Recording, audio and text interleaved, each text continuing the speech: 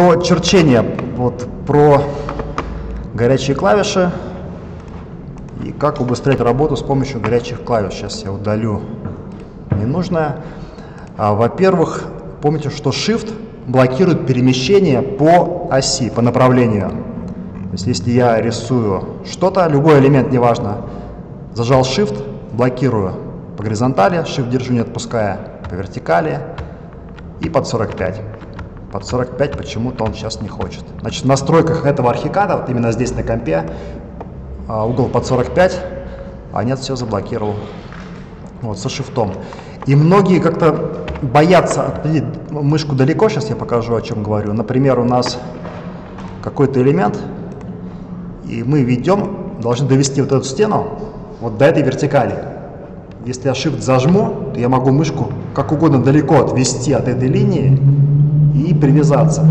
Многие почему-то боятся далеко отводить, думают, что соскочит, наверное. Вот, и заметил такой момент.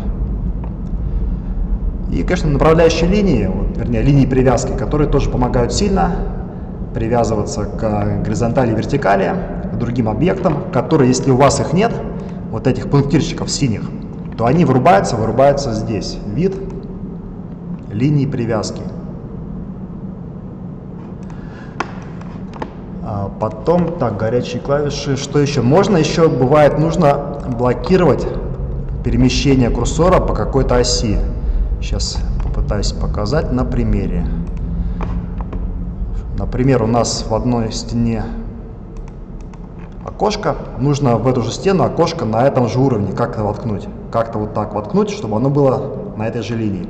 Можно, конечно, взять, сделать, вытащить направляющую линию, вот вытаскиваю линию, бросаю и потом привязываюсь окошком. Можно окошко вставить куда-то, а потом взять указателем, схватить, потащить, куда нам надо, передвинуть. Но можно заблокировать перемещение курсора по оси, так, по оси X, нажав Alt-Y. Сейчас смотрите, что будет. Да, сейчас я точно вам скажу, проверю, так ли это.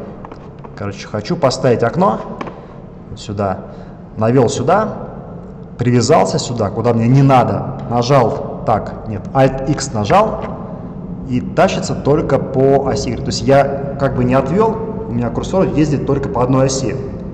Я нажал Alt, X это Y, да? да, Alt-X это Y.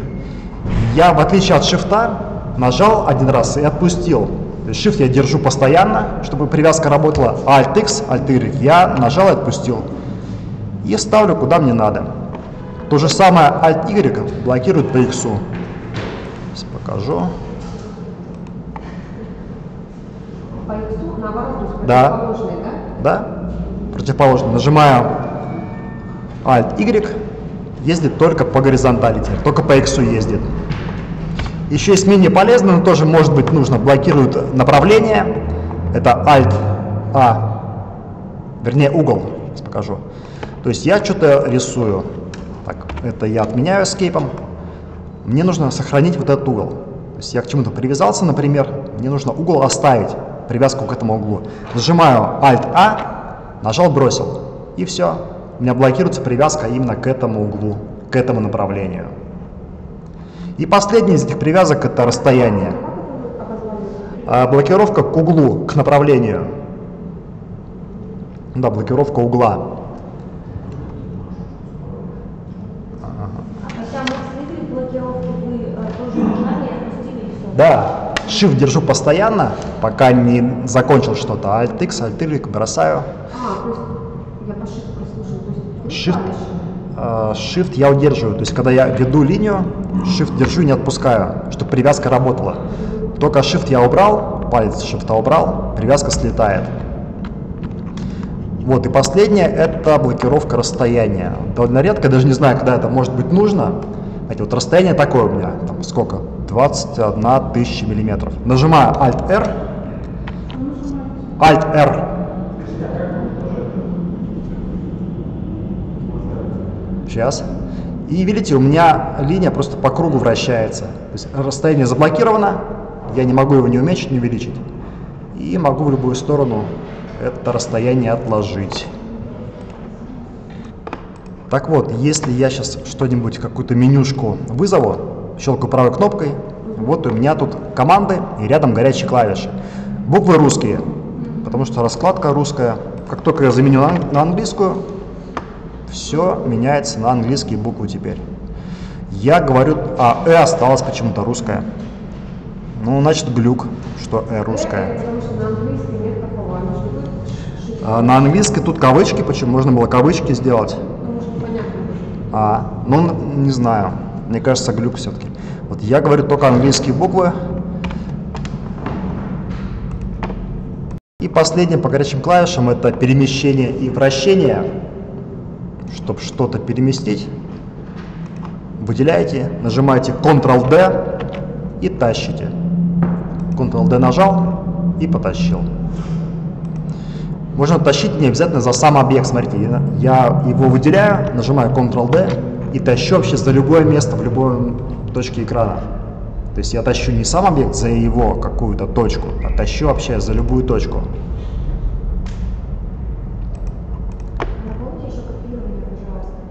Угу. Ctrl-D это перемещение. Выделяю, нажимаю Ctrl-D, нажимаю на точку откуда переместить, один клик. Мышку не держу кнопку. И клик второй, куда хочу переместить. Клик, клик. Вот Ctrl-D.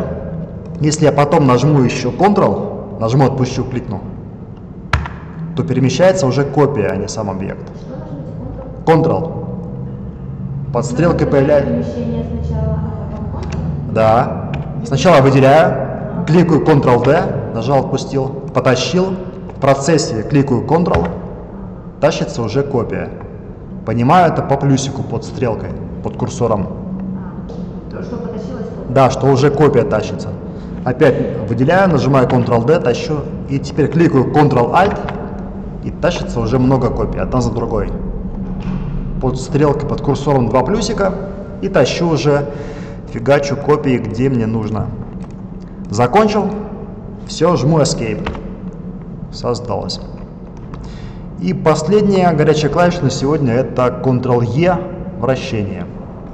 Также выделяю, нажимаю Ctrl-E, показывает центр вращения. Кстати, вращение, мне кажется, очень актуально. Постоянно мебель ставится не так, постоянно Но смотрите, вращение мебели. Вот у стены угол поворота не указан. Сейчас объясню, о чем говорю. А если у нас был бы объект, например, мебель, просто тыкаю первый попавшийся, то в свойствах у объекта всегда есть угол поворота. Вот он здесь, 0. Я могу вращать объект на экране, нажимаю Ctrl-E и вращаю его.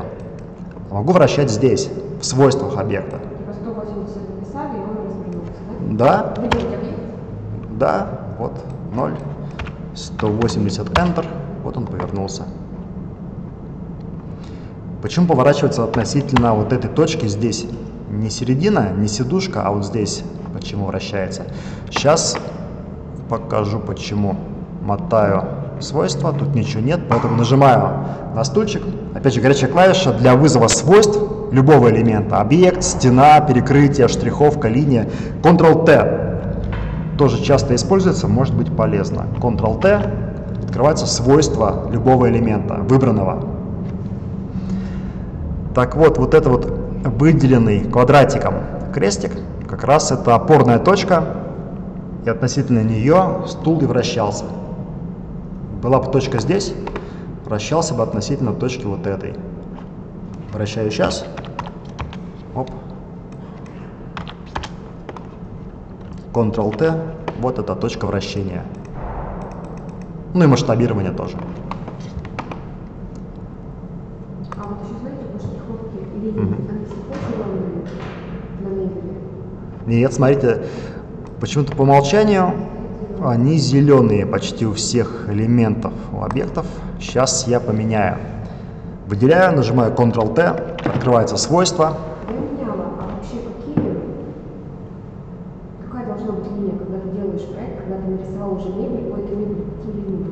А? Э, Требований нет опять же к оформлению. Вообще по ГОСТу есть толщина линии тонкая и толстая, две толщины. Но вам по ГОСТу делать не обязательно далеко. Поэтому ни к цвету, ни к толщине требований нет. По ГОСТу все линии должны быть черные, только черные, не цветные, не серые, и двух толщин, тонкая и толстая, и все. Но вы как хотите, как удобнее.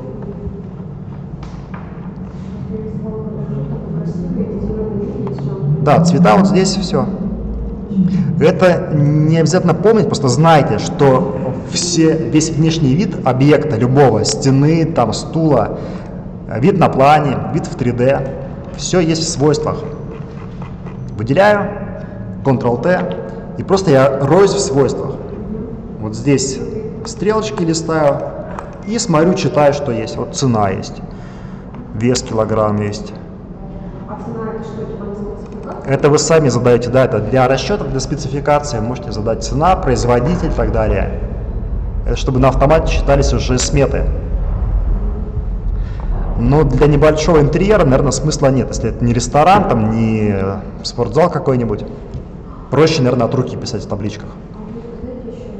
А вообще размеры всего, когда пишется, многие скидывают ребята, в принципе, кухня, да, интересно. Видела все